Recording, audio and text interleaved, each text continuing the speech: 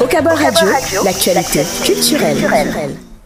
Bonjour, bonsoir à tous. Alors je m'appelle Isa, nouvelle artiste camerounaise. Je vous invite à écouter ma chanson Aloko, mon nouveau single sur Okabol Radio.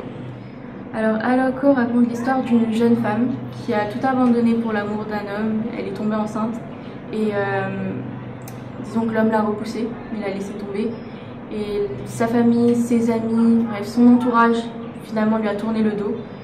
Et euh, au final, ce qu'on a voulu montrer dans cette musique, à la fin, la décision qu'elle prend, c'est d'assumer et de garder l'enfant finalement.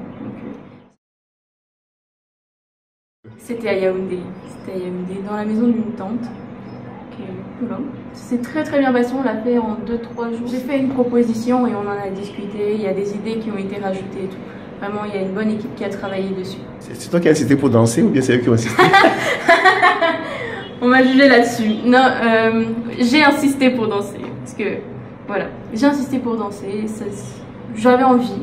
J'en avais envie, du coup, bah, j'ai dansé. Bah, je, suis, je suis extrêmement touchée parce que la plupart sont, sont, positifs, genre on a beaucoup de bons retours et ça me touche énormément. Il y a une jeune fille qui a commenté et qui a dit que cette histoire raconte son vécu à elle et le fait qu'elle se retrouve dans la musique, ça m'a beaucoup touchée.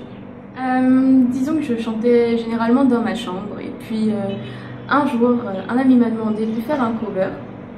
Je lui ai fait ce petit cover et puis il m'a dit en fait tu chantes bien, est-ce que je peux la mettre en statut Et puis c'est parti de là, de statut, et c'est passé sur Beamster et au final ça a pris une ampleur. On a ouvert un compte Instagram et c'est comme ça que j'ai commencé à faire des petits covers de temps en temps. Mes camarades m'ont dit Isabelle franchement vu l'ampleur que ça prend tu devrais vraiment te lancer coup, j'ai dit, bon, bah pourquoi pas. J'ai écrit à 2-3 labels, genre euh, Big Dreams, euh, Alpha Beta Record.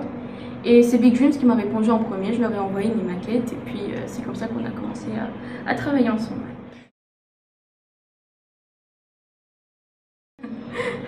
je l'ai déjà un peu trop répété, mais bon, c'est pas grave, je vais le redire. Bah, il y a Loco. Loco, c'est un artiste que j'admire énormément. Ensuite, il y a Renis que j'aime bien. Il y a Blanche Bailey, Minx, Ténor. Et, ouais, ce sont, les, sont les artistes vraiment que j'écoute euh, le plus. il y en a d'autres, bien entendu, mais. Quand on aime, il y a des choses qu'on fait et il y a des conséquences qui peuvent arriver. Il faut être capable de les assumer après. Parce que ces actes-là peuvent avoir des répercussions sur d'autres personnes. Voilà. Merci beaucoup. De rien. Au Cabot Radio, l'actualité culturelle.